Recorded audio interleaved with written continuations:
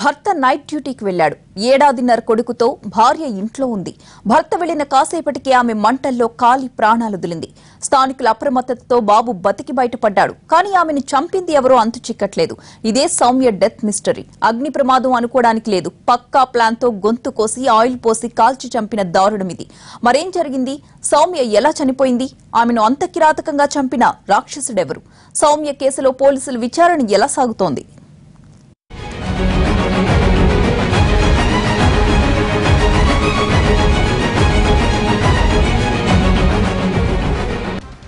హైదరాబాద్ ఎర్రగడ్డలో వివాహేతర సౌమ్య దారుణ హత్య మిస్టరీగా మారింది. సౌమ్యను ఎవరు చంపారన్న విషయాన్ని ఇప్పటికీ తేల్చలేకపోతున్నారు పోలీసులు. వ్యక్తిగత కక్షతోనే సౌమ్యను కిరాతకంగా చంపి ఉంటారని భావిస్తున్నారు. ఈ హత్య కేసును ఛేదించేందుకు పోలీసులు నాలుగు బృందాల్ని ఏర్పాటు చేశారు. సోమవారం రాత్రి సమయంలో సౌమ్య భర్త నాగభూషణం డ్యూటీకి వెళ్ళాడు ఆ తర్వాతే ఈ దారుణం జరిగింది. సౌమ్య ఇంట్లోంచి మంటలు రావడంతో స్థానికులు అప్రమత్తమయ్యారు. అయితే డోర్ లాక్ చేసి ఉండటంతో లోపల ఏం జరుగుతోందో ఎవరికీ అర్థం కాలేదు.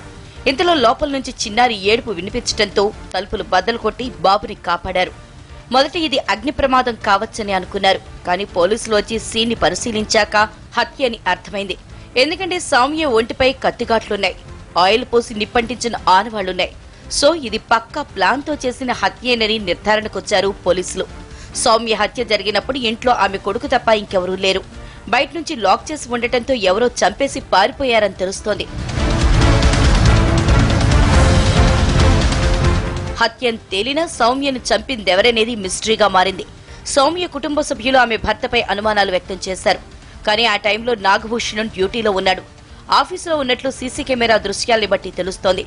ఇంట్లో జరిగిన దారుణం గురించి సమాచారం అందటంతో డ్యూటీ నుంచి వచ్చేశాడు. భర్త కాకుండా ఈ హత్య వేరే ఎవరైనా చేసి ఉండొచ్చా అన్న అనుమానాలున్నాయి.